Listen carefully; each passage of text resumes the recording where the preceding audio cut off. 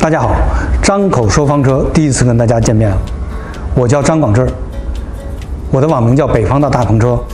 二十年自驾，十三年房车旅行，自驾总行程超过六十万公里，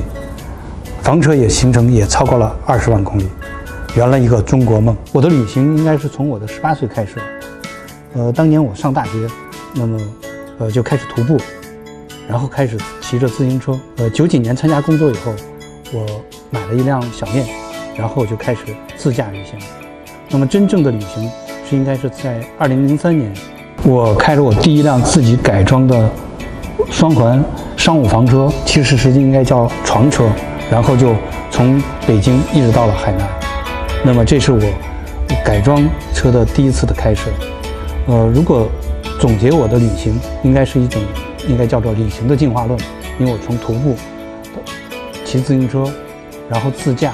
到自驾越野车，自驾改装商务房车，到定制房车，这是一个很漫长的过程，中间经历了二十年的时间。二零零六年开始，我就开始跟定制房车旅行，然后我每年有三到八个月的时间是在旅行的路上，走过了中国的三个极点，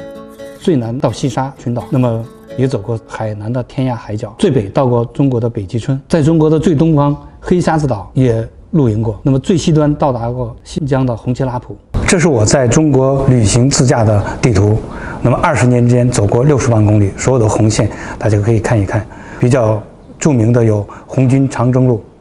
还有就是西藏去川藏线、青藏线、新藏线，包括中国最西北的边境穿越。我开着房车旅行，在中国走过最高的点，房车露营最高点是在二零一二年五月份。我开车到了珠峰大本营，海拔五千二百米，露营两个晚上，然后走过中国的最低点呢，是在二零零七年，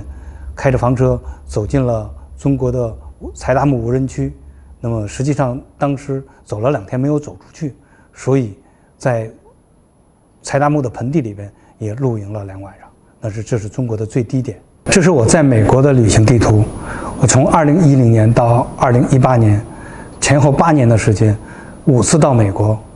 总行程十五万公里，前后在美国一共生活了四百一十天，房车走遍了美国和加拿大。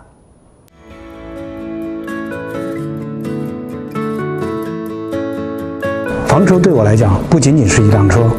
而是一种生活的方式，更是一种生活的理念。